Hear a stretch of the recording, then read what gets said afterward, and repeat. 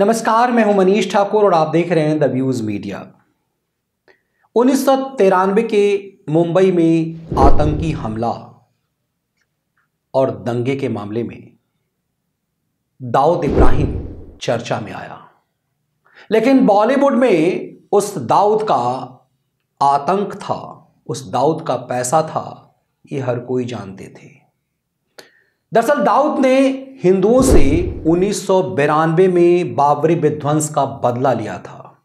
और तब से वो दाऊद, जो सिरमौर था बॉलीवुड का, वो भगौड़ा हुआ। उसकी तस्वीरें तो कई बार टेलीविज़न चैनल पे दिखी, लेकिन सभी तस्वीरें शारजाह के एक मैच के दौरान का, उसकी जवानी का। कहते हैं कि क्रिकेट से उसे इस कदर शौक था कि उसकी चाहत हुई कि जावेद मियाँ दाद को अपना समधी बनाए तो जावेद की बेटी से अपने बेटे की शादी करवाई।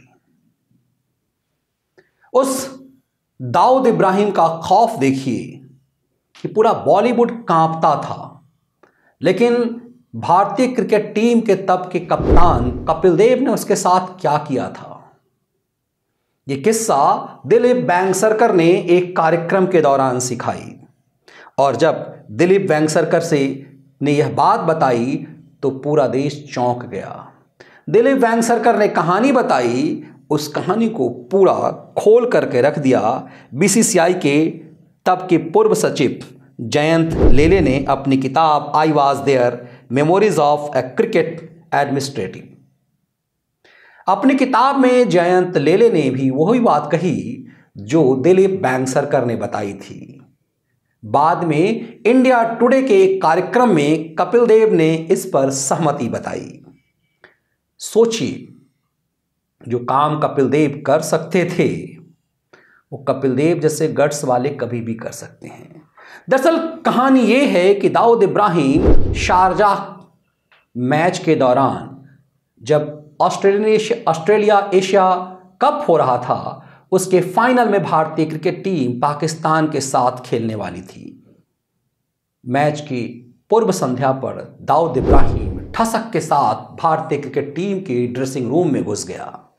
उस समय कपिल देव एक प्रेस कॉन्फ्रेंस को संबोधित कर रहे थे।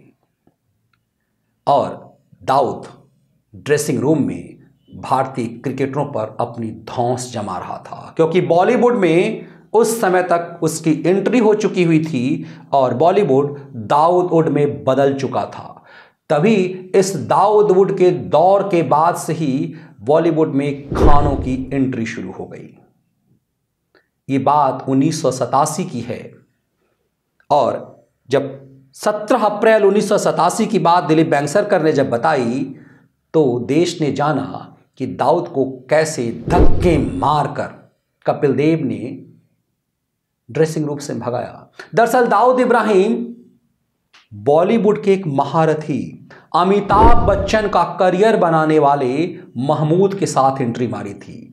इससे महमूद की भी किस्सा गोई समझ में आती है कि महमूद को कैसे मसीहा बनाया गया। महमूद दाऊद को लेकर ड्रेसिंग रूम में पहुँचा।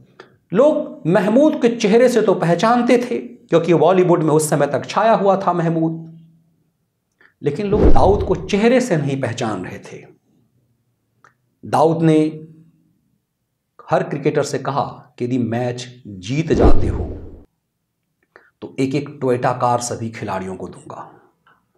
अब ये बात जीतने की थी या हारने की, ये सस्पेंस है। लेकिन यदि बैंक सरकार ये बात सही कह रहे हैं कि जीतने के लिए कार देने वाला था तो ऐसा क्या था? महमूद क्यों लेकर आया था? कपिल देव उसी समय एंट्री करी। कपिल देव कोई कतई पसंद नहीं था कि ड्रेसिंग रूम में कोई और आए। जब कपिल देव एंट्री करे तो उन्होंने महमूद को पहचान लिया। महमूद से कहा कि आप क्या कर रहे हैं? महमूद को कहा, बाहर चले जाइए। थोड़ा सम्मान दिया, लेकिन दाऊद अपनी अकड़ दिखा रहा था।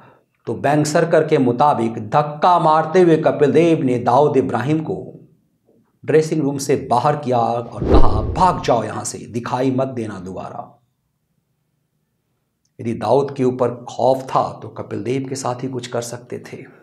लेकिन इस दाऊद का आतंक बॉलीवुड पर रहा। सतासी के बाद से लेकर बिरानवे तक वो बॉलीवुड पर छाया रहा। तिरानवे तक छाया रहा। मुंबई पर आतंकी हमले के बाद भी छाया रहा, लेकिन जब दाऊद का नाम आया पंचानवे छियानवे के आसपास तो पता चला उसके खौफ से, उसके आतंक से बॉलीवुड किस कदर आतंकित था। क्यों इस बॉलीवुड को दाऊद वुड कहते हैं? और कैसे उसकी क्रिकेट में एंट्री थी, वो जावेद मियादाद के समधी बनने से समझ में आया। पाकिस्तान आज भी ये स्वीकार नहीं करता कि दाऊद उसके पास है। दाऊद किस हाल में होगा ये उसकी उम्र का अंदाज़ा लगा के समझा जा सकता है।